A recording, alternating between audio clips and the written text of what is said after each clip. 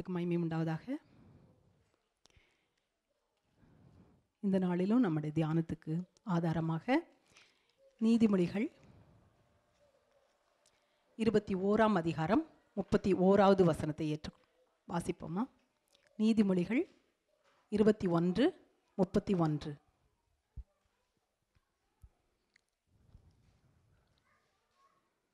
குதிரை யுத்த நாளுக்கு ஆயத்தமாக்கப்படும். ஜெயமோ கர்த்தரால் வரும். குதிரை யுத்த நாளுக்கு ஆயத்தமாக்கப்படும். ஜெயமோ கர்த்தரால் வரும். இந்த வேளையில் நம்ம எல்லாரும் கண்களை மூடி ஆண்டவரை நோக்கி பார்ப்போம். எங்களை அதிகமாக நேசிக்கிற எங்கள் நல்ல தகப்பனே இந்த நாளிலும் ஆண்டவரே உடைய வார்த்தையின் மூலமாக நீர் எங்களோடு பேசும்படியாய் எங்களை தாழ்த்தி உடைய கரங்களில் ஒப்பு கொடுக்கிறோம் ஆண்டவரே. பேசுகிறவர்கள் நீங்கள் அல்ல உங்கள் பிதாவின் ஆவியானவர்னு சொன்னது போல ஆண்டவரே. வந்திருக்கிற எங்கள் ஒவ்வொருவருடைய இருதயங்களையும் அறிந்திருக்கிற தேவன் ஆண்டவரே எங்களுக்கு என்ன தேவைங்கிறதை அறிந்திருக்கிற தேவன். அப்பா நீர் எங்களோடு பேசி எங்கள் ஒவ்வொருடைய இருதயங்களையும் ஆண்டவரே உமக்கு நேராக நீங்கள் திருப்பி எழும்படியாய் இந்த நாளிலும் ஆண்டவரே ஒருபடி நாங்கள் இன்னும் உம்மடை கெட்டிச்சேர நீர் எங்களுக்கு உதவி செய்யும்படியாய் உடைய திருக்கரங்களில் ஒப்பு கொடுக்கிறோம் நீங்கள் முற்றிலுமாக ஆளுகை செய்யுங்க. மாம்சம் வெளிப்படாதபடி ஆவியானவர் முற்றிலுமாக வெளிப்படும்படியாய் என்னுடைய அன்பின் கரங்களில் ஒப்பு கொடுக்கிறோம் ஆண்டவரே. நீங்கள் கூட இருங்க பேசுங்க உங்களுடைய நாமத்தை மகிமைப்படுத்துங்க. இயேசுவின் நாமத்தில் ஜெபிக்கிறோம். எங்கள் ஜீவனுள்ள நல்ல பிதாவே. ஆமீன். இந்த நாளில் நம்ம இந்த வசனத்தை நம்ம மெயினாக எப்போ எடுப்போன்னா இப்போ நான் எல்லாம் பிள்ளைங்களுக்கெல்லாம் எக்ஸாம் நடக்குது. அப்போ எல்லாம் ஆயத்தப்பட்டுட்டு இருக்காங்க. குதிரை யுத்த நாளுக்கு ஆயத்தமாக்கப்படும். நம்முடைய எஃபர்ட்னாலேயோ நம்மளுடைய எவ்வளோ எஃபர்ட் போட்டாலும் நம்ம எவ்வளோ இது பண்ணாலும் நம்முடைய பலத்தில் ஒன்றும் இல்லைன்னு பார்க்குறோம். ஜெயமோ கர்த்தரால் வரும் அப்படின்னு பார்க்குறோம். நம்முடைய கிறிஸ்தவ வாழ்க்கையிலும் கூட நம்ம வெற்றியுள்ள கிறிஸ்தவ வாழ்க்கை வாழணும்னு சொல்லி நம்ம எல்லாருக்கும் ஆசை தான் நம்ம எல்லாருக்கும் எப்படியாச்சும் ஒரு வெற்றியுள்ள கிறிஸ்தவ வாழ்க்கை வாழணும் அப்படின்னு நம்ம நினைக்கிறோம். இஸ்ரவேலர்களை எடுத்துக்கிட்டோன்னா எகிப்திலேருந்து காணானுக்கு வராங்க. அவங்களுக்கு வந்து அந்த காணானை நோக்கி போகிறதுக்கு அவங்களுக்கு வந்து அவங்க வெற்றி நட போடுறாங்க. அப்படியே பயங்கர பார்வோனுடைய பிடியிலிருந்து அவ்வளோ அற்புதங்களை செய்து ஆண்டவர் வெளியே கொண்டு வந்தார். அப்படி வந்துட்டு இருக்கும்போது பார்த்தா திடீர்னு பார்த்தா பின்னாடி இருந்து எகிப்தியர் படை சூழ வராங்க. முன்னால் பார்த்தா செங்கடல். ஆனால் என்னாச்சு கர்த்தர் அவர்களுக்காக யுத்தம் பண்ணினான்னு பார்க்குறோம். ஆண்டவர் சொல்கிறாரு நீங்கள் சும்மா இருப்பீர்கள் கர்த்தர் உங்களுக்காக யுத்தம் செய்வார் அப்படின்னு சொல்லியிருக்குது. நம்முடைய கிறிஸ்தவ வாழ்க்கையில் நமக்கு ஜெயம் வந்து நம்ம எதுவுமே பண்ண வேண்டியதில்லை. நம்ம சும்மா இருந்தால் போதும். நீங்கள் சும்மா இருப்பீர்கள். கர்த்தர் உங்களுக்காக யுத்தம் பண்ணுவார்னு பார்க்குறோம். அதே போல் ஆண்டவர் அவர்களுக்காக யுத்தம் பண்ணினார். நமக்கு தெரியும் செங்கடல் திறந்தது. எதிரிகள் எல்லாம் அழிந்தாங்க. இவங்க வனாந்திரத்தில் நடக்கிறது போல கடல் வழியாக நடந்து வந்தாங்கன்னு பார்க்கிறோம். அதுக்கப்புறம் பார்த்தீங்கன்னா பெரிய எரிகோ மதில் வருது. ஆனால் அந்த எரிகோ மதில் நமக்கு நம்முடைய வாழ்க்கையிலும் கூட செங்கடல் மாதிரி பிரச்சனை எரிகோ மதில் மாதிரி பிரச்சனை வரலாம். ஆனால் அந்த எரிகோ மதில் மாதிரி ஒரு பிரச்சனையை ஆண்டவர் கொண்டு வர்றதுக்கு முன்னால் சேனையின் அதிபதியாய் அவர் அந்த எரிகோ மதிலை உடைக்க யோசுவாவுக்கு முன் சென்றார்னு நம்ம பார்க்குறோம். அதுவும் அங்கே நிற்கிறாரு அவர் யாருன்னு பார்த்தா இஸ்ரேலுடைய சேனையின் அதிபதியாய் நான் வந்திருக்கிறேன்னு சொல்லிட்டு எரிகோ மதிலாகிய பிரச்சனை நமக்கு வர்றதுக்கு முன்னாலே அந்த அந்த அப்படிப்பட்ட நமக்காக யுத்தங்களை நடத்த நமக்காக காரியங்களை சாதிக்க நம்முடைய தேவன் நமக்கு முன் செல்கிறார் பார்க்கிறோம். இப்படி இந்த இஸ்ரவேலர்களுடைய வாழ்க்கையில எத்தனை எவ்வளவோ பிரச்சனைகள் ஆனா அற்புதங்கள் அதிசயங்கள் ஏராளம். செங்கடல் பிளந்தது எரிகோ மதில் உடைந்தது மேகஸ்தம்பமாய் அக்னி ஸ்தம்பமாய் ஆண்டவர் கூடவே சென்றார். தண்ணீர் கண்மலையிலிருந்து புறப்பட்டு வந்தது. எவ்வளவோ அற்புதங்களை கண்டார்கள். அவங்க நினச்சிட்டு இருக்கலாம் அவங்க வாழ்க்கையில் அவ்வளோ அற்புதமாக நிறைந்த வாழ்க்கை அதிசயம் நிறைந்த வாழ்க்கை. ஆண்டவர் மேகஸ்தம்பமாக அக்னி ஸ்தம்பமாக கூட இருந்து நடத்தினார். அவங்க நினச்சிட்டு இருக்கலாம் நம்ம வெற்றியுள்ள வாழ்க்கை வாழ்ந்தோன்னு சொல்லிட்டு. ஆனால் அவங்க என்னாச்சு? கர்த்தருடைய பார்வையில் அவர்கள் வெற்றியுள்ள வாழ்க்கை வாழவில்லைன்னு பார்க்கிறோம். அவங்களால காணான் தேசத்துக்குள்ளே எல்லாராலையும் போக முடியல. ரெண்டே ரெண்டு பேர் தான் போய் சேர்ந்தாங்கன்னு பார்க்கிறோம். அப்படியானால் நம்ம வெற்றியுள்ள கிறிஸ்தவ வாழ்க்கை வாழணும்னா ஆண்டவர் நம்ம இடத்துல என்ன எதிர்பார்க்கிறார்? அவர்கள் பிரச்சனைகள் நம்ம பிரச்சனை சால்வ் ஆயிடுச்சு நமக்கு அற்புதம் நடந்துருச்சு அதிசயம் நடந்துருச்சுங்கிறதுனால நமக்கு வெற்றியுள்ள வாழ்க்கை இல்லை. அந்த பிரச்சனைகள் மத்தியில் நம்ம எப்படி இருக்கிறோம்? நம்ம அவிசுவாசமான வார்த்தைகளை பேசுகிறோமா? இல்லை முறுமுறுக்கிறோமா? இல்லை ஆண்டுடைய வார்த்தைக்கு கீழ்ப்படியாமல் நம்ம மாம்சத்துக்கு இடம் கொடுத்து நம்மளுடைய சித்தங்களை நம்மளுடைய திட்டங்களை நம்ம நிறைவேற்றுகிறோமா? நம் இந்த வேளையில் நம்மை நாமே நம்ம யோசித்து பார்க்கணும். நம்ம வெற்றியுள்ள வா கிறிஸ்தவ வாழ்க்கை வாழ்கிறோமா? ஆண்டவருடைய பார்வையில் ஆண்டவருக்கு பிரியமான வெற்றியுள்ள வாழ்க்கை வாழ்கிறோமா? அவருடைய திட்டத்தை நம்ம நிறைவேற்றுகிறவர்களாக இருக்கிறோமா? அவர் அவர் அவர் நினைக்கிறது போல நம்ம வாழ்கிறோமா? நம்ம இந்த வேளையில் நம்மை நம்மை ஆராய்ந்து பார்ப்போம். குலோசெயர் இரண்டாம் அதிகாரம் பதிமூன்று முதல் பதினைந்து. இப்பதான் பார்த்தோம் குதிரை யுத்த நாளுக்கு ஆயத்தமாக்கப்படும் ஜெயமோ கர்த்தரால் வரும். கர்த்தர் மட்டும்தான் நமக்கு வெற்றியுள்ள வாழ்க்கை வாழ கிருபை செய்ய முடியும். உங்கள் பாவங்களினாலேயும் உங்கள் மாம்ச விருத்த சேதனம் இல்லாமையினாலேயும் மரித்தவர்களாய் இருந்த உங்களையும் நம்ம பாவத்துல மறித்து கிடந்தோம். இருந்த உங்களையும் அவரோடே கூட உயிர்ப்பித்து அக்கிரமங்கள் எல்லாவற்றையும் உங்களுக்கு மன்னித்து நம்முடைய பாவங்கள் அக்கிரமங்கள் எல்லாவற்றையும் நமக்கு மன்னித்து நமக்கு எதிரடையாகவும் கட்டளைகளால் நமக்கு விரோதமாகவும் இருந்த கையெழுத்தை குலைத்து நமக்கு நம்ம செய்த பாவம் எல்லாம் பிசாசு வந்து ஒரு பெரிய நோட்புக்கில் எழுதி இவ்வளோ பாவம் செஞ்சிருக்கா இவ இவ்வளோ பாவம் செஞ்சிருக்கா அப்படின்னு வரிசையாக எழுதி நமக்கு குற்றம் சாட்டினாலும் அதை நடுவில் இராதபடிக்கு எடுத்து சிலுவையின் மேல் ஆணி அடித்து ஆனால் ஆண்டவர் என்ன செஞ்சார் நம்ம செய்த பாவங்களை எல்லாம் எல்லா குற்றங்களையும் அவர் சிலுவையில் ஆணி அடிச்சிட்டாருன்னு பார்க்கிறோம். துரைத்தனங்களையும் அதிகாரங்களையும் உரித்து கொண்டு துரைத்தனங்களையும் அதிகாரங்களையும் உறிந்து கொண்டு பிசாசு நம்ம மேலே அதிகாரம் செலுத்துக்கு இவ இவ்வளோ பாவம் செஞ்சிருக்கா? இவ்வளோ பாவம் செஞ்சிருக்கான்னு நம்மளை வந்து குற்ற உணர்வை கொண்டு வந்து நம்மளை வந்து கீழே தள்ளி நம்மளை இது பண்ணும்போது அந்த துரைத்தனங்கள் அதிகாரங்கள் எல்லாம் முறியடித்து வெளியரங்கமான கோலமாக்கி வெளியரங்கமான கோலமாக்கி அவைகளின் மேல் சிலுவையிலே வெற்றி சிறந்தார். அவர் சிலுவையிலே வெற்றி சிறந்தார் பார்க்கிறோம். கர்த்தராகிய இயேசு நமக்காக கல்வாரி சிலுவையில மறித்ததுனால அவர் நம்முடைய பாவங்கள் சாபங்கள் அக்கிரமங்கள் வியாதிகள் எல்லாவற்றையும் கல்வாரி சிலுவையில சுமந்து தீர்த்ததுனால நம்ம பட வேண்டிய நம்ம ஆக்கினையை அவர் சுமந்து கொண்டது நிமித்தம் அவர் நமக்காக பிசாசின் பிடியிலிருந்து நமக்கு வெற்றியை கட்டளையிட்டு இருக்கிறான்னு பார்க்கிறோம். கர்த்தரால் மட்டும்தான் நமக்கு வெற்றி. ஒன்று குருந்தியர் பதினைந்தாவது அதிகாரம் ஐம்பத்தி ஐந்து முதல் ஐம்பத்தி ஏழு வரை.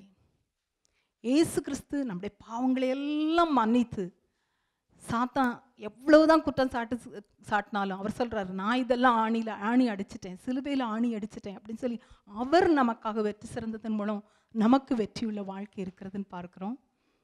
மரணமே உன் கூர் எங்கே? பாதாளமே உன் ஜெயம் எங்கே? இயேசு கிறிஸ்து சிலுவையில் அறையப்பட்டவனே பிசாசுக்கெல்லாம் ஒரே சந்தோஷம். பிசாசு கூட்டமே அப்படியே கழிகூர்ந்து மகிழ்ந்தது. அப்பாடா இவரை சிலுவையில் அரைஞ்சாச்சு அப்படின்னு சொல்லிட்டு. ஆனால் ஆண்டவர் நமக்காக சிலுவையில் அறையப்பட்டது நிமித்தம் தான் மரணத்தின் கூர் ஒடிக்கப்பட்டதுன்னு பார்க்கிறோம். பாதாளத்தின் வல்லமை முறியடிக்கப்பட்டதுன்னு பார்க்கிறோம். அன்றைக்கு அவரை சிலுவையில் அடிச்சாங்க ஆனால் ஆண்டவர் உயிரோடு வந்து நமக்கு அந்த பாவங்களிலிருந்து விடுதலை தரும்படியாய் நமக்கு ஒரு வெற்றியுள்ள கிறிஸ்தவ வாழ்க்கை வாழும்படியாய் ஆண்டவர் நமக்கு பலன் கொடுத்திருக்கிறார். தொடர்ந்து வாசிங்க. மரணத்தின் கூர் பாவம் பாவத்தின் பலன் நியாயப்பிரமாணம். அந்த பாவம் பாவத்திலிருந்து விடுதலை நியாயப்பிரமாணம். நம்மளால கட்டளைகள் நம்மளால வாழ முடியாதபடி இருக்கிற அந்த கட்டளைகளிலிருந்து நமக்கு விடுதலை பாவத்திலிருந்து விடுதலை. நம்முடைய கர்த்தராகிய இயேசு கிறிஸ்துவினாலே நமக்கு ஜெயம் கொடுக்கிற தேவனுக்கு ஸ்தோத்திரம். நம்முடைய கத்தராக இயேசு கிறிஸ்துவினாலே நமக்கு ஜெயம் கொடுக்கிற தேவனுக்கு ஸ்தோத்திரம். அவர் நமக்காக சிலுவையில் அறையப்பட்டதுனால தான் நமக்கு இன்னைக்கு விடுதலை. நம்முடைய கர்த்தராகிய இயேசு கிறிஸ்துவினாலே நமக்கு ஜெயம் கொடுக்கிற தேவனுக்கு ஸ்தோத்திரம். நமக்கு ஜெயம் கொடுக்கிற தேவன் அவர் தான் அப்படின்னா நம்ம என்ன பண்ணணும்? ஒவ்வொரு நாளும் அந்த கல்வாறு சிலுவையை நம்ம கண்முன்னால நிறுத்தி நோக்கணும். ஒவ்வொரு நாளும் ஒவ்வொரு நிமிஷமும் நம்ம எந்த பாதையில் போனாலும் சூழ்நிலைகள் நம்மளை நெருக்கும் போதும் நம்ம அந்த கல்வாரி சிலுவையாக நம்ம கண் நோக்கணும். அவருடைய தெய்வீக ஸ்பாவங்கள் நம்ம மூலமாக வெளிப்படணும்னா நம்ம அவசரப்பட்டு நிதானம் இல்லாமல் பேசாதபடி அவிசுவாசமான வார்த்தைகளை பேசாதபடி தேவனை குற்றம் சாட்டுகிறவர்களாய் பேசாதபடி முறுமுறுக்காதபடி தேவனுக்கு பிரியமில்லாத காரியங்களை செய்யாதபடி ஒவ்வொரு நாளும் நம்முடைய இயேசு கிறிஸ்துவை சிலுவையில் அறையப்பட்ட அவரை நம்ம கண் முன்னால் நிறுக்கும் போது நிறுத்தும் போது மட்டும்தான் நமக்கு வெற்றி வாழ்க்கை கிடைக்கும்னு பார்க்குறோம். நம்முடைய பலத்தினால நம்ம எவ்வளோதான் ட்ரை பண்ணாலும் நம்மளால முடியாது. ஆனால் ஆண்டவரை நம்ம முற்றிலுமாக சார்ந்து கொள்ளும்போது நமக்கு வெற்றியுள்ள கிறிஸ்துவ வாழ்க்கை வாழ ஆண்டவர் பலன் தருகிறான்னு பார்க்கிறோம். ஏசாயா ஐம்பத்தி ஒன்பது பத்தொன்பதாவது வசனம் பின்பாகம். ஏசாயா ஐம்பத்தி ஒன்பது பத்தொன்பதாவது வசனத்தின் பின்பாகம். வெள்ளம் போல் சத்துரு வரும்போது வெள்ளம் போல சத்துரு வரும்போது அப்படியே வெள்ளம் அடிச்சிட்டு வருது. நம்ம முழுக போகிறோம் அப்படின்னு நம்ம நினச்சிட்டு இருக்கோம். அப்படியே நம்முடைய ஆவிக்குரிய வாழ்க்கையாக இருந்தாலும் சரி நம்மளுடைய உலக பிரகம நம்முடைய வாழ்க்கையாக இருந்தாலும் சரி வெள்ளம் அடிச்சுக்கிட்டு வருது. அவ்வளோதான் நம்ம மூழ்கிட்டோம். நம்மளை அடிச்சிட்டு போயிருச்சு அப்படின்னு நினச்சிட்டு இருக்கோம். கர்த்தருடைய ஆவியானவர் அவனுக்கு விரோதமாய் கொடியேற்றுவார்.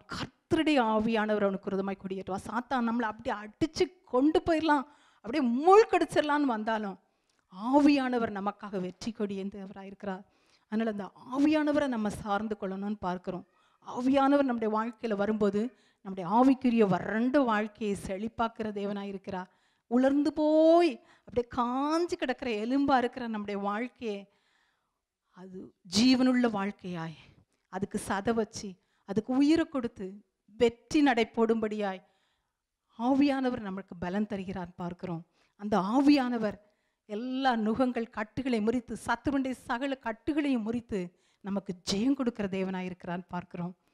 வெளிப்படுத்தல் பன்னிரெண்டாவது அதிகாரம் பத்தாவது வசனம் பதினோராவது வசனம்.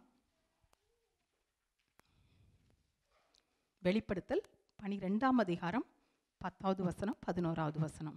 அப்பொழுது வானத்திலே ஒரு பெரிய சத்தம் உண்டாகி இப்பொழுது இரட்சிப்பும் வல்லமையும் நமது தேவனுடைய ராஜ்யமும் அவருடைய கிறிஸ்துவின் அதிகாரமும் உண்டாயிருக்கிறது. இரவும் பகலும் நம்முடைய தேவனுக்கு முன்பாக நம்முடைய சகோதரர் மேல் குற்றம் சும சுமத்தும் பொருட்டு நமக்கு இரவும் பகலும் நமக்கு ஒரு எதிரி இருந்துக்கிட்டே இருக்கிறான். பிசாசு நம்ம மேல குற்றம் சுமத்துறதுக்கு இரவும் பகலும் ரெடியா இருந்துகிட்டு இருக்கிறான். அவர்கள் மேல் குற்றம் சாட்டுகிறவன் தாழ தள்ளப்பட்டு போனான். அந்த பிசாசு தள்ளப்பட்டு போனான்னு பார்க்கிறோம். இயேசு கிறிஸ்து சிலுவையில மறித்ததுனால அவன் தள்ளப்பட்டு போனான்னு பார்க்கிறோம். மரணம் நேரிடுவ நேடு நேரிடுகிறதா இருந்தாலும் அதற்கு தப்பும்படி தங்கள் ஜீவனையும் பாராமல் ஆட்டுக்குட்டியின் இரத்தத்தினாலும் தங்கள் அப்படிப்பட்ட பிரச்சனை வந்தாலும் மரணமே நேரக்கூடிய சூழ்நிலை அப்படிப்பட்டதான பிரச்சனைகள் வந்தாலும் ஆட்டுக்குட்டியின் ரத்தத்தினாலும் தங்கள் சாட்சியின் வசனத்தினாலும் சாட்சியின் வசனத்தினாலும் அவனை ஜெயித்தார்கள். பார்க்கிறோம் அப்ப அந்த ஆட்டுக்குட்டியானவருடைய ரத்தம் வெளியேறப்பட்ட அந்த தூய திரு ரத்தம் எப்பொழுதுமே நம்ம அந்த ரத்தத்தை பற்றிய வசனங்களை நம்ம சொல்லிக்கிட்டே இருக்கணும். ஏசு கிறிஸ்துவின் ரத்தம் சகல பாவங்களை நீக்கி சுத்திகரிக்கும். ஏசு கிறிஸ்துவின் ரத்தம் எனக்கு சமாதானத்தை உண்டு பண்ணும். ஏசு கிறிஸ்துவனால எனக்கு ரட்சிப்பு பாவ மன்னிப்பாகிய மீட்பு உண்டாயிருக்கிறது. ஏசு கிறிஸ்துவின் ரத்தத்தினால சமாதானம் உண்டாக்கி இருக்கிறார் அப்படி நம்ம அந்த ரத் அந்த ஆட்டுக்குட்டியானவருடைய ரத்தம் எப்படி சங்கார தூதன் அன்னைக்கு க- அவர்களை அழிக்காதபடி ஆட்டுக்குட்டியின் ரத்தம் அவங்களுடைய வில் நடு அவங்களுடைய வீட்டில் பூசப்பட்டது போல நம்மை சுற்றிலும் நம்முடைய வீட்டிலும் எல்லாவற்றிலும் நம்ம ஆட்டுக்குட்டியான இரத்தத்தால் நம்ம நம்ம மூழ்கினவர்களாக அந்த இரத்தத்துக்குள்ளாய் மூழ்கினவர்களாக அந்த இரத்தத்தால் அப்படியே முத்திரிக்கப்பட்டவர்களாக நம்ம காணப்படணும். அதுபோல் சாட்சியின் வசனத்தினாலும் அவனை ஜெயித்தார்கள். அந்த வசனம் அந்த ஆண்டுடைய வார்த்தைகள் நம்ம பாதுகாக்கும். பிசாசை ஜெயிக்கும்படியாய் அந்த வசனங்கள் நம்மளை உற்சாகப்படுத்த நம்ம சோர்ந்து போயிருக்கிறப்போ நம்ம பிரச்சனைகளில் இருக்கப்போ அந்த வசனத்தின் மூலமாக ஆண்டவர் நம்மோடு கூட பேசுவார் நம்மளை பலப்படுத்துவார் நம்ம சோர்ந்து போகாதபடி தேவையில்லாத காரியங்களை நம்ம பேசாதபடி தேவனுக்கு பிரியமில்லாத காரியங்களை செய்யாதபடி அந்த இந்த தேவனுடைய வார்த்தைகள் நம்மளை உருவாக்கும் பார் உருமாற்றுன்னு பார்க்கிறோம். நம்ம அந்த வசனங்களை வாசிக்கும்போது நம்ம வெற்றியுள்ள வாழ்க்கை வாழும்படியா பிசாசை ஜெயிக்கும்படியா ஆண்டோரிடத்துலேருந்து நம்ம பலனை பெற்றுக்கொள்கிறோம்னு பார்க்கிறோம். ரெண்டு கொரிந்தியர் இரண்டாவது அதிகாரம் பதினாலாவது வசனம். கிறிஸ்துவுக்குள் எப்பொழுதும் எங்களை வெற்றி சிறக்க பண்ணி. ஆண்டவர் நமக்கு சொல்லியிருக்காரு எப்பொழுதும் எப்பொழுதும் நமக்கு வெற்றி தான். கிறிஸ்துவுக்குள் எப்பொழுதும் எங்களை எங்களை வெற்றி சிறக்க பண்ணி எல்லா இடங்களே எல்லா இடங்களிலேயும் இடங்களிலும் எங்க போனாலும் நமக்கு வெற்றி தான். எங்களை கொண்டு அவரை அறிகிற அறிவின் வாசனையை வெளிப்படுத்துகிற தேவனுக்கு ஸ்தோத்திரம். அவரை அறிகிற அறிவின் ஆண்டவர் ரெடியா இருக்கிறாரு. நம்ம எங்க போனாலும் எப்போவும் நம்மளை வெற்றியுள்ள வாழ்க்கை வாழச் செய்ய அவருடைய வாசனையை வீச அவருடைய தெய்வீக சுபாவத்தை வெளிப்படுத்த அவர் நம்ம மூலமாக வெளிப்பட ரெடியாக இருக்கிறாரு. நம்ம என்ன பண்ணணும்? நம்ம ஆண்டவரே அப்பா நீங்கள் முழுதுமாக மறைத்து கொள்ளுங்க என்ன.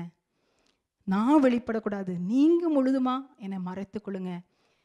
கிறிஸ்து என் மூலமாக வெளிப்படணும். கிறிஸ்துவின் வாசனை என் மூலமாக வெளிப்படணும். உமக்காக ஒரு வெற்றியுள்ள வாழ்க்கை வாழணும்னு சொல்லி நம்மளும் அந்த வசனத்தை நம்ம கிளைம் பண்ணி ஆண்டவரே நான் அப்படி வெற்றியுள்ள கிறிஸ்தவ வாழ்க்கை வாழ என்னை அர்ப்பணிக்கிறேன் அப்படின்னு சொல்லி நம்ம அர்ப்பணித்தோமானால் வெற்றியுள்ள வாழ்க்கை வாழ ஆண்டவர் பலன் தருவார். ரோமர் எட்டாவது அதிகாரம் முப்பத்தாறு முப்பத்தேழு நினைக்கிறேன். கிறிஸ்துவின் அன்பை விட்டு நம்மை பிரிப்பவன் யார்?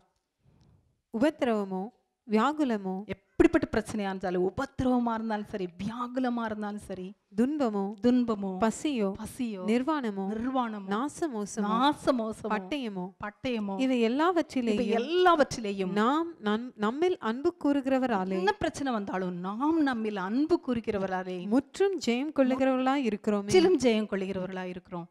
நம்ம வந்து we are more than conquerors. முற்றிலும் ஜெயம் கொள்கிறவர்களா இருக்கிறோம். எப்படிப்பட்ட பிரச்சனை வரட்டும்? நம்ம ஆனா ஒண்ணே ஒண்ணு. பிரச்சனையை நம்ம பார்க்கக்கூடாது. ஆண்டவராக இயேசு கிறிஸ்து நம்மோடு கூட இருக்கிறார். அவரை மட்டும் பார்த்து அவர் அவருக்குள்ளாக நம்ம மறைந்து கொண்டோமானால் அவரை அவர் ந- அவரும் நம்ம மூலமாக வெளிப்படும்படியாக நம்ம அர்ப்பணித்தோமானால் ஆண்டவர் இப்படிப்பட்ட காரியங்களை செய்வார்.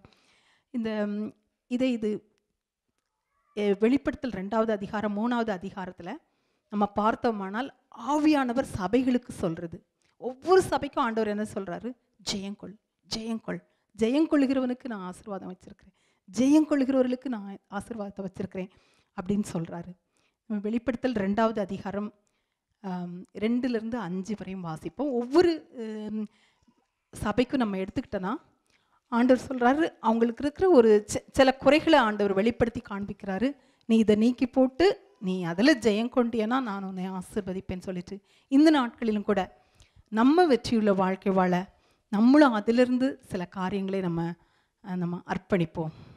உன் கிரியைகளையும் எபேசு சபைக்கு ஆண்டவர் சொல்றாரு உன் கிரியைகளையும் உன் பிரயாசத்தையும் உன் பொறுமையையும் நீ பொல்லாதவர்களை சகிக்க கூடாமல் இருக்கிறதையும் அப்போஸ்தலர் அல்லாதவர்கள் தங்களை அப்போஸ்தலர் என்று சொல்லுகிறதையும் நீ சோதித்து அவர்களை பொய்யர் என்று கண்டறிந்ததையும் நீ சகித்து கொண்டிருக்கிறதையும் பொறுமையாய் இருக்கிறதையும் என் நம் என் நாமத்தின் நிமித்தம் இளைப்படையாமல் பிரயாசப்பட்டதையும் அறிந்திருக்கிறேன். எபேசு சபைக்கு அவ்வளோ நல்ல குணம் இருந்திருக்கு நிறைய பிரயாசப்பட்டிருக்காங்க அவ்வளோ பொறுமையாக இருந்திருக்காங்க அவ்வளோ ஆண்டவருக்காக அவ்வளோ பிரயாசப்பட்டிருக்காங்க நிறையத்தை சகித்துக்கிட்டு இருக்காங்க ஆனாலும் ஆனாலும் நீ ஆதியில் கொண்டிருந்த அன்பை விட்டாய் என்று உன் பேரில் ஆதியில். கொண்டிருந்த அன்பை விட்டாய் என்று உன் பேரில் எனக்கு குறை உண்டு ஆகையால் நீ என்ன நீ என்ன நிலைமையில் இருந்து விழுந்தாய் என்பதை நினைத்து மனம் திரும்பி ஆதியில் செய்த கிரியைகளை செய்வாயாக. இல்லாவிட்டால் நான் சீக்கிரமாய் உன்னிடத்தில் வந்து நீ மனம் திரும்பாத பட்சத்தில் உன் விளக்கு தண்டை அதனிடத்து நின்று நீக்கி விடுவேன். இது சொல்றாரு எல்லாம் அவங்ககிட்ட இருக்கு எல்லாருக்கும் பொறுமை இருக்கு பிரயாசப்பட்டு செய்கிறாங்க எல்லாம் அவ்வளோ சகிச்சுக்கிறாங்க. ஆனால் பாருங்க ஆதியில இருந்த அன்பு இல்லை. ஆதி அன்பு இல்லை. ஆண்டவர் சொல்றாரு அதுலேருந்து நீ மனம் திரும்பு. அப்போ நீ ஜெயம் கொள்ளும்போது நான் ஆசீர்வாதத்தை கொடுப்பேன்னு சொல்கிறார் நம்மளும் கூட ரட்சிக்கப்பட்ட உடனே புதுசில் அப்படியே முழங்கால்லே நிற்போம் அப்படியே பைபிளை வாசிச்சுக்கிட்டே இருப்போம். யார்கிட்டடா போய் ஆண்டவரை பற்றி சொல்லலாம் அப்படின்னு சொல்லி அப்படியே துடிச்சுக்கிட்டு இருப்போம். ஆனால் அந்த ஆதியில் அந்த அன்பு குறையிறது கூட ஆண்டவர் விரும்புகிறது இல்லைன்னு பார்க்குறோம். அந்த ஆதி அன்பை நம்ம விட்டு விடக்கூடாதுன்னு ஆண்டவர் எதிர்பார்க்கிறார். எப்படி நம்முடைய நம்முடைய தேர்ஸ்ட் ஆண்டவருக்காக இருக்கிற தேர்ஸ்ட் அப்படியே எப்படா போய் ரூமில் போட் பூட்டிட்டு ஜெபம் பண்ணலாம். அப்படி அந்த ஒரு தேர்ஸ்ட் அந்த ஆதி அன்பை நம்ம விட்டு விடக்கூடாது அப்படின்னு ஆண்டவர் எதிர்பார்க்கிறாரு. அவங்களுக்கு என்ன சொல்றாருன்னு பார்க்குறோம். ஏழாம் அதிகாரம் பின்பக்கம். ஆதி அன்பை நீங்கள் மறுபடியும் அந்த ஆதி அன்பை நீங்கள் அதுக்குள்ள சரியாகும்போது ஆண்டவர் என்ன சொல்றாரு? ஜெயம் கொள்ளுகிறவன் எவனோ அவனுக்கு தேவனுடைய பரதீசில் பரதீசின் மத்தியில் இருக்கிற ஜீவ விருட்சத்தின் கனியை புசிக்க கொடுப்பேன் என்று எழுது. பரதீசில் உள்ள ஜீவ விருட்சத்தின் கனியை புசிக்க கொடுப்பேன்னு சொல்றாரு. அடுத்தாப்புல சிமிர்னா சபைக்கு என்ன சொல்றாருன்னு பார்த்தீங்கன்னா பத்தாவது வசனம் பதினோராவது வசனம் வாசிப்போம். நீ நீ படப்போகிற பாடுகளை குறித்து எவ்வளவும் பயப்படாதே. இதோ நீங்கள் சோதிக்கப்படும் பொருட்டாக பிசாசானவன் உங்களில் சிலரை கா காவலில் போடுவான். பத்து நாள் உபத்திரவப்படு படுவீர்கள். ஆகிலும் நீ மரண பரியந்தம் உண்மையாயிரு பத்து நாள் உபத்திரவப்படுவீர்கள். உங்களுக்கு உபத்திரவம் இருக்குது. ஆகிலும் நீ மரணபரியந்தம் உண்மையாயிரு அப்பொழுது ஜீவ கிரீடத்தை உனக்கு தருவேன். அப்பொழுது ஜீவ கிரீடத்தை உனக்கு தருவேன். உனக்கு பிரச்சனை வரும் உபத்திரவம் வரும். ஆனால் என்ன பண்ணணும்? மரண பரியந்தம். லாஸ்ட் பிரெத் வரைக்கும் அந்த கடைசி மூச்சு வரைக்கும் நம்ம உண்மையாக இருக்கணும்னு ஆண்டவர் எதிர்பார்க்கிறார். ஆண்டவருடைய பார்வையில் நம்ம உண்மையாக இருக்கணும் அப்படின்னு ஆண்டவர் எதிர்பார்க்கிறார். ஜெயம் கொள்ளுகிறவன் இரண்டாம் மரணத்தினால் சேதப்படுவதில்லை என்று இப்படி நம்ம கடைசி மட்டும் என்ன பிரச்சனை வந்தாலும் மரண வரையும் நம்ம உண்மையாக இருக்கும்போது ஆண்டவர் சொல்றார் நம்ம இரண்டாம் மரணத்தினால் சேதப்படுவதில்லை. நம்ம அக்கினி நரகத்துக்கு போக வேண்டிய அவசியம் இல்லை. மூன்றாவதாக பெர் பெர்குமு சமைக்க ஆண்டவர் என்ன சொல்றாருன்னு பார்க்குறோம். பதினாலு பதினஞ்சு. ஆகிலும் சில காரியங்களை குறித்து உன் பேரில் எனக்கு குறை உண்டு விக்கிரகங்களுக்கு படைத்தவைகளை புசிப்பதற்கும் வேசித்தனம் பண்ணுவதற்கும் ஏதுவான இடரலை இஸ்ரவேல் புத்திரர் முன்பாக போடும்படி பாலாக் என்பவனுக்கு போதனை செய்த பிழையாமுடைய போதக போதகத்தை கை கொள்ளுகிறவர்கள் உன்னிடத்தில் உன்னிடத்தில் உண்டு. இந்த மாதிரி தவறான உபதேசங்கள் தவறான உபதேசங்களே குழு அவங்க வந்து ஆளானதுனால ஆண்டவர் சொல்றாரு அதை விட்டு நீ மனம் திரும்பு. அப்படியே சில வேளைகளில் நம்ம தவறான உபதேசங்கள் நம்ம இது பண்ணும்போது நம்ம ஆண்டவரை நோக்கி நம்ம பார்த்து ஆண்டவருடைய பாதத்தில் உட்காந்து நம்ம வந்து அதை ஆராய்ந்து நம்ம அதை விட்டு நம்ம வெளியில் வர வேண்டியவர்களாக இருக்கிறோம். சில தவறான உபதேசங்கள் வந்து நம்மளை ஆட்கொள்ளாதபடி இந்த வேதம் தான் நமக்கு ரெஃபரன்ஸ் ஆண்டுடைய பாதத்தில் அமர்ந்திருந்து அந்த வேதத்தை வாசித்து ஆண்டுடைய பாதத்தில் அமர்ந்திருந்து அந்த அதெல்லாம் விட்டு வெளியே வரும்போது ஆண்டவர் சொல்றார் ஜெயம் கொள்ளுகிறவனுக்கு. பதினேழாவது வசனம். ஜெ ஜெயம் கொள்ளுகிறவனுக்கு நான் மறைவான மன்னாவை புசிக்க புசிக்க மறைவான மன்னாவை புசிக்க கொடுத்து அவனுக்கு வெண்மையான குறிக்கல்லையும் அந்த கல்லின் மேல் எழுதப்பட்டதும் அதை பெறுகிறவனே அன்றி வேறொருவனும் அறியக்கூடாததும் ஆகிய புதிய நாமத்தையும் கொடுப்பேன் என்று எழுது. புதிய நாமத்தையும் கொடுப்பேன் அப்படின்னு சொல்றாரு. அதே போல் தியத்தீரா சபைக்கு எடுத்துக்கிட்டிங்கன்னா இருபது இருபத்தி நாலு இருபத்தஞ்சு இருபத்தாறு. ஆகிலும் உன் பேரில் எனக்கு குறை உண்டு. என்னவெனில் தன்னை தீர்க்கதரிசி என்று சொல்லுகிற எசபேல் என்னும் ஸ்திரீ ஸ்திரீயானவள் என்னுடைய ஊழியக்காரர் வேசித்தனம் பண்ணவும் விக்கிரகங்களுக்கு படைத்தவைகளை புசிக்கவும் அவர்களுக்கு போதித்து அவர்களை வஞ்சிக்கும்படி நீ அவளுக்கு இடம் கொடுக்கிறாய். இதில் பார்த்தீங்கன்னா தவறான உபதேசம் தவறான காரியங்களை செய்கிறது ஆண்டவருக்கு பிரியமில்லாத காரியங்களை செய்கிறது அந்த மாதிரி காரியங்களுக்கு நம்ம உடன்படாதபடி நம்ம வந்து ஆண்டவர் சொல்கிறாரு நீ வந்து அதெல்லாம் விட்டு வெளியே வந்து உங்களுக்குள்ளதை வரும் அளவும் பற்றி கொண்டிருங்கள். நீ கர்த்தருடைய பார்வையில் உண்மையாக இருக்கிறத மட்டும் கடைசி மட்டும் பட்டு கொண்டிரு. தேவையில்லாத காரியங்களெல்லாம் விட்டுட்டு. அப்போ ஜெயம் கொள்ளுகிறவனவனோ? ஜெயம் கொடு ஜெயம் கொண்டு முடிவு பரியந்தம் என் கிரியைகளை கை கொள்ளுகிறவன் எவனோ? அவனுக்கு நான் என் பிதாவினிடத்தில் ஆ- அதிகாரம் பெற்றது போல் போல ஜாதிகள் மேல் அதிகாரம் கொடுப்பேன். அப்படி நம்ம பொல்லாத கிரியைகளை விட்டு நம்ம வெளியில் வந்து ஆண்டோடைய பார்வையில் உண்மையாக இருக்கும்போது ஆண்டவர் நமக்கு ஜாதிகள் மேலே அதிகாரம் கொடுக்கிறவராக இருக்கிறார் சர்தை சபைக்கு ஆண்டவர் என்ன சொல்கிறாரு அப்படின்னு பார்ப்போம்னா உன் கிரியைகளை மூன்றாவது அதிகாரம் ஒன்று ஒன்று முதல் மூன்று. சர்தை சபையின் தூதனுக்கு நீ எழுத வேண்டியது என்னவெனில் தேவனுடைய ஏழு ஆவிகளையும் ஏழு நட்சத்திரங்களையும் உடையவர் சொல்லுகிறதாவது உன் கிரியைகளை அறிந்திருக்கிறேன். நீ உயிருள்ளவன் என்று பெயர் கொண்டிருந்தும் செத்தவனாய் இருக்கிறாய். அவங்க வந்து பேருக்கு தான் அவங்க லிவிங் சர்ச்சு ஆனால் செத்த சர்ச்சு ஆண்டவரோட கனெக்ஷன் இல்லைன்னா நம்ம வந்து செத்தவர்களாக நம்ம காணப்படுகிறவர்களாக இருப்போம். அந்த எப்படி ஒரு செ செட் செடியில் வந்து அந்த கொடி நிலைத்திருந்தால் தான் கனி கொடுக்கும் இல்லையா? அந்த கொடி வந்து செடியோட கனெக்ஷன் இல்லைன்னா அது காஞ்சி விழுந்துரும் அதே போல் நம்ம ஆண்டவரோடு சரியான நம்ம ஐக்கியத்தில் இல்லைன்னா நம்ம செத்தவர்களாக நம்ம காணப்படுவோம். ஜீவனுள்ளவர்களாக இல்லாமல் அப்படிப்பட்ட காரியத்தை விட்டு மனம் திரும்பும்போது ஆண்டவர் என்ன சொல்கிறாருன்னா அஞ்சாவது வசனம். ஜெயம் கொள்கிறவன் எவனோ அவனுக்கு வெண் வஸ்திரம் தரிப்பிக்கப்படும். அப்படின்னு பார்க்குறோம். அடுத்தப்பில் பார்த்தீங்கன்னா பிலதெல்பியா சர்ச்சுக்கு என்ன சொல்கிறாருன்னு பார்த்தீங்கன்னா எட்டாவது வசனம். உன் கிரியைகளை அறிந்திருக்கிறேன். உனக் உனக்கு கொஞ்சம் பலன் இருந்தும் நீ என் நாமத்தை மறுதலியாமல் என் வசனத்தை கை கொண்டபடியினாலே இதோ திறந்த வாசலை உனக்கு முன்பாக வைத்திருக்கிறேன். அதை ஒருவனும் பூட்ட மாட்டான். சொல்றாரு உன் கிரியைகளெல்லாம் இருந்திருக்கேன் உனக்கு எவ்வளோ உபத்திரம் பிரச்சனைகள் வந்துச்சு. ஆனாலும் உனக்கு கொஞ்சம் பலம்தான் இருந்துச்சு. ஆனாலும் நீ வந்து எப்படியோ தாக்கு பிடிச்சு நின்றுட்ட அதே போல் நம்முடைய வாழ்க்கையில் நமக்கு எவ்வளோ பிரச்சனைகள் வரலாம் எவ்வளோ உபத்திரங்கள் வரலாம்.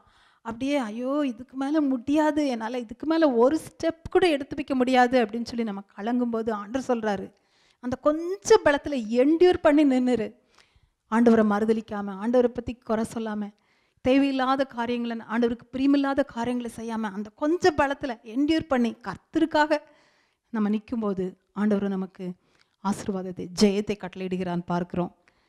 அந்த ஜெயம் கொள்ளுகிறவனவனும் இருபத்தி ரெண்டாவது வசனம். அப்படி நம்ம ஜே பன்னிரெண்டு. அந்த கொஞ்சம் பலத்தில் என்டியூர் பண்ணி நிற்கும்போது ஆண்டவர் சொல்றாரு ஜெயம் கொள்ளுகிறவன் எவனோ? அவனை என் தேவனுடைய ஆலயத்தில் தூண் ஆலயத்துல தூணாக்குவேன் அப்படின்னு சொல்றாரு. அப்புறம் பார்த்தீங்கன்னா கடைசி ஃபிலதெல்பியா லவோ கடைசி சபை லவோதிகேயா சபைக்கு சொல்றாரு. சாரி பதினைந்து. உன் கிரியைகளை அறிந்திருக்கிறேன். நீ குளிரும் அல்ல அல்ல அனலும் அல்ல. நீ குளிராயாவது அனலாயாவது இருந்தால் நலமாயிருக்கும். ஆண்டவர் சொல்றாரு நம்ம வந்து அப்படியே டல்லா அசதியா சோர்ந்து போய் இருக்கிறது ஆண்டவருடைய பார்வையில் விருப்பம் இல்லை. ஆண்டவருக்காக அனலா இருக்கணும் அப்படின்னு ஆண்டவர் விரும்புறாரு.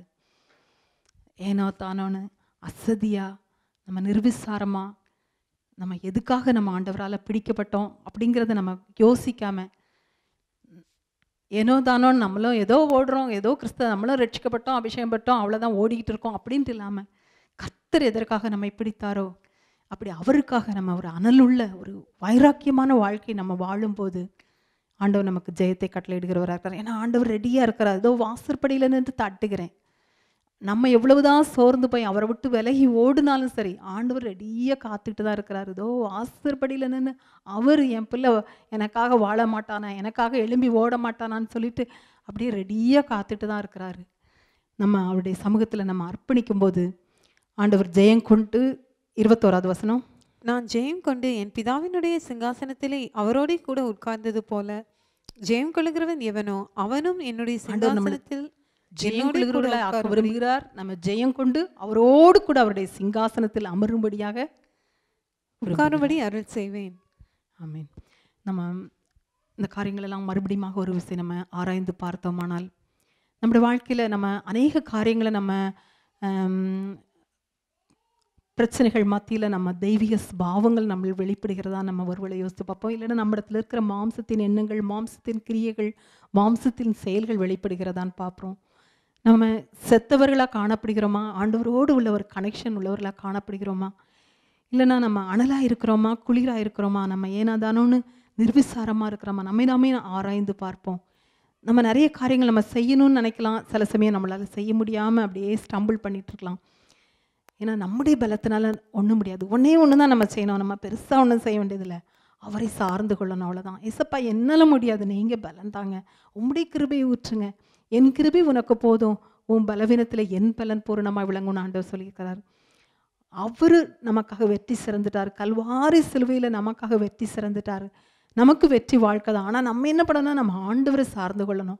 ஒவ்வொரு காரியத்திலையும் ஒவ்வொரு நிமிஷமும் ஒவ்வொரு வினாடியும் ஆண்டவரையும் அவருடைய கிருபையும் சார்ந்து கொள்ளணும். ஏசப்பா உம்முடைய கிருபை எனக்கு வேணும்.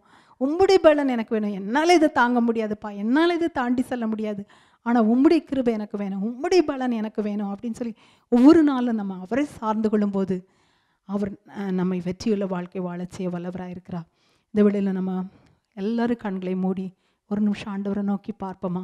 என்னென்ன காரியங்களில் ஒருவேளை நம்ம வெற்றி வாழ்க்கை வாழ முடியாமல் ஒருவேளை ஜெபிக்க முடியாமல் ஜெபிக்கிறதுல நம்ம வெற்றி வாழ்க்கை இல்லாதவர்களாக காணப்படுகிறோமா? இல்லை வேதத்தை தியானிக்கிறதுல ஐயோ என்னால் முடியலையேன்னு சொல்லி நம்ம வெற்றி வாழ்க்கை இல்லாதவர்களாக காணப்படுகிறோமா? இல்லை நான் பிரச்சனைகள் வரும்போது ஐயோ எனக்கு பொறுமை இல்லை எனக்கு கோபம் வந்துடுது எனக்கு எனக்கு என்னால் தேவையில்லாத காரியங்களை பேசிடுறேன்.